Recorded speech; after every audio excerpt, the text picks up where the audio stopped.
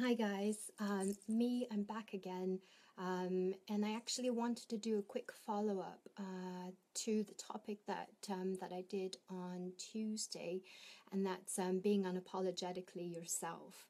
Um, wow, um, this this kept coming back to me, so I so I had to do this. Um, and in particular, I'm talking about the labels that we put upon ourselves and, and how we can own those labels, take them off, and be ourselves without apology, excuses, reasons, justifications, whatever.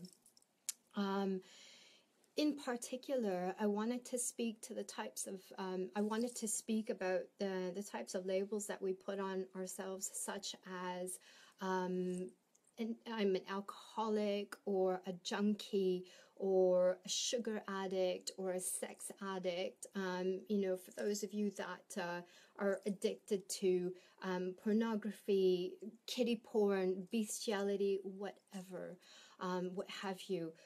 This, this video is for you and look if you're if you're that person who's you know you can say to anyone um, that hey this is me this is what i do and i own it i have no qualms with this then so be it. This this video is actually not for you. Um, this is for the person who's listening to this right now, and this is starting to resonate with you. That you're actually doing something. Uh, you call yourself an alcoholic, you call yourself a junkie, whatever, and you don't feel good about it. I'm talking to you right now. Um, and and before I go any further, um, I want you to know that I am not judging you. That is not my job. Um, you are the best judge. You've been doing it for yourself. It's not my place to do that. My job is to love you. My job is to show you a way that is different than anything that you've ever known. Um, so let's do that. Let's let's be here and now. Let's be ourselves unapologetically. All right. So if, if you are the alcoholic, if that's what you call yourself, if you do the, the drugs or whatever, um, I, I want us to change that. I want you to change that for yourself.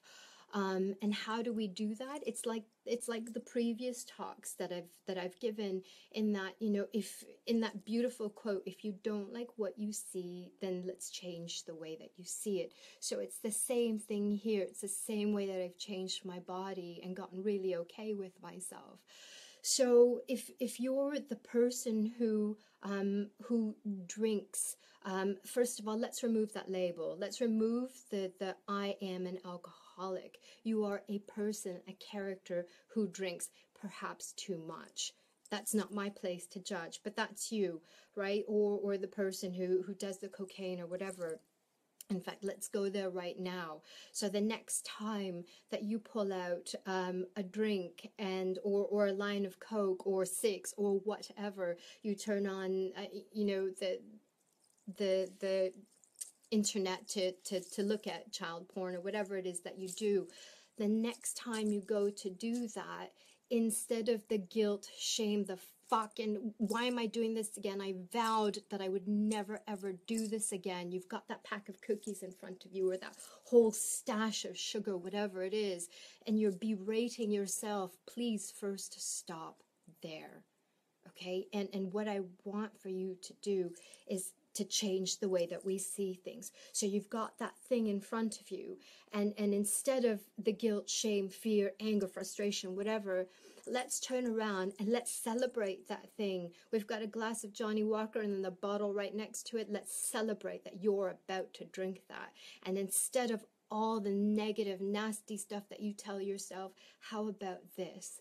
Allow me to suggest something else, which is I allow myself to drink this. This is the very best thing I can put in my body, or if it's something that you're watching um, that that doesn't sit well with you, but you just can't get off, and it might just be YouTube, it might just be Netflix. It doesn't have to be pornography. It's something that you just can't get away from.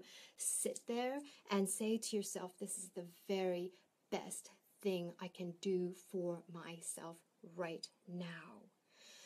And as I've said before, um, the things that you see that you now that we've we've started to change the programming in your mind that it's not bad. You've taken away the label of being an alcoholic or being this or being that.